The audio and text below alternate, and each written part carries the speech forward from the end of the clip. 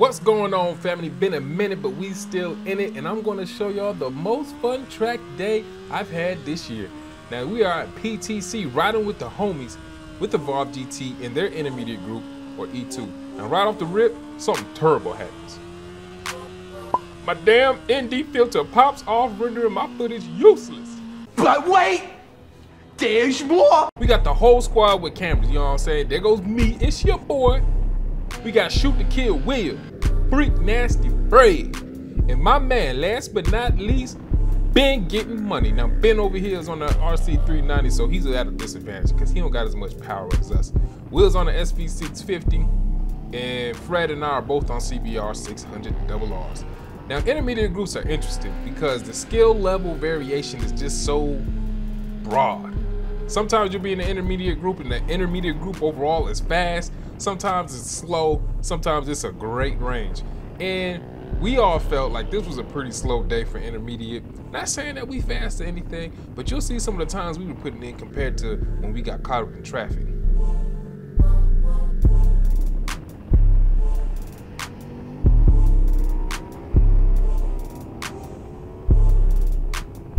So Will again, he's on that SV650. He ain't got that much pace. Fred was in the back on that 600 blown by Ben. And we all go around this guy now. I ain't gonna lie, we kind of all broke the rules there. You ain't supposed to pass after the cones. I'm, I'm telling on this a little bit, but that's all right. Even Ben came through, and Ben hangs out with us for a little bit. And this was the only fully clean lap we got all session, and I skipped to the end of it because these laps are pretty long. And at the end of this lap, you can see we ran a 202. Excuse me, of the lap, we ran a 202 cutting up into a little bit more corners. You see, we all trying to follow Will. Well, not all of us. Ben, unfortunately, got left behind because that 390 just don't got enough power. Will showing us how to make it do what it do until we got a little bit of traffic. I keep calling it traffic even though it's one or two people. But yeah, we get held up a little bit by a BMW. It's unfortunate for Will, man. He's so fast. That boy already racing. And look, intermediate with Evolve, you can't pass on the inside. So on a track like PTC, it's hard to make a pass stick. So he passes on the outside, but he can't make it stick because he don't got enough power. With STT, you can pass on the inside as long as you're giving six feet. With Evolve GT, they don't want any inside passing, which makes it kind of challenging. All right, we're on that front straight, and Fred decides it's my turn to lead now, and we were stuck behind that BMW, and you see we run a 2079, almost a 208, so yes, much slower behind other people than what we were previously doing. Now, can Fred get past this BMW? We shall see. Now, of us three up here, Will is definitely the fastest, even on his lower displacement bike. And then Fred is faster than I, and I'm the slowest. Now, Ben was still with us, Ben is probably as fast as Will, but his bike is just not as fast. Fred came more prepared than I. He's got that rear facing 360 camera doing it real big.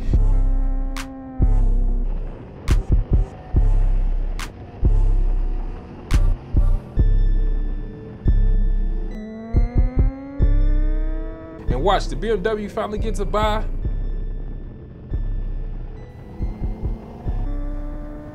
So here we are, we're hung up. We never got the opportunity to pass. The BMW is gone. And here we are, just all, you know, chilling. Sometimes I appreciate getting behind slower people because PTC is a very demanding track. So when you get stuck behind somebody, you get a, a few moments and a few corners to recharge your batteries because this it's a lot of work. Will says, you know what, I'm gonna go ahead and make a move and make it do what it do. They both pass. I don't pass them until I'm on the straight itself. And you see, after Fred led, we ran a 212 because we were stuck for quite some time. We ran another lap, a pretty clean lap. We only passed one person, I believe. I decided I'm going to lead now. And after this lap that I didn't show, we ran 203. Looking good. Now it's my turn to lead. But as you can already see, there's somebody up there in the distance. We run into them nothing crazy. We just get stuck for, for one of the earlier sections of the track.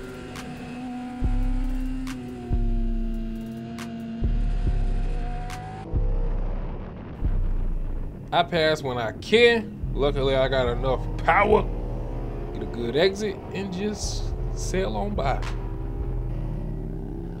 Now Will is real great on the brakes, so that's where he gets his pass done. Fred's got great corner speed, so that's where where he's gonna get his pass done. Just making a time, excuse me. Set that up right. Get a good exit, head on up the hill. I'm gone. No, wait, no, I'm not. Never mind.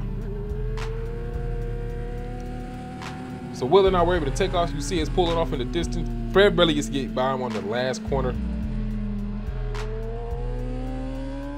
And we already gone. We run a 205 And I want to show you how much better Will is than I. You see how much of a lead I had? Look at him just just destroying that lead, just chewing it up. Watching myself in his camera, I can see, man, I just turn so slow, just laying it down into corners. You know, I ain't really throwing that thing in the corners like I could be. But just lay it down gently. Let's just lay it down gently the other way. The wheel's already there. Like, come on, let's go. Will makes a little error. I gain a little bit more of a gap.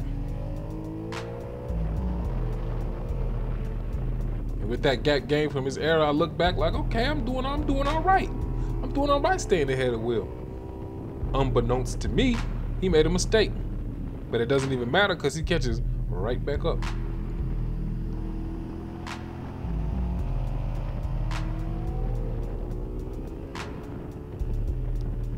Poor Fred. Fred is still in the back. If we had maybe another lap, Fred could have caught back up because he's faster than I. So if I had continued to lead, he probably could have caught both Will and I. But if Will got in front of me, I think Will would have taken off. But unfortunately, we ain't got no more time and we got to go. Checkered flag is out and that is it for this session. We got a couple more sessions I want to show y'all because we was having fun that day. Y'all stay blessed. Don't be too stressed. That's your she out. Peace.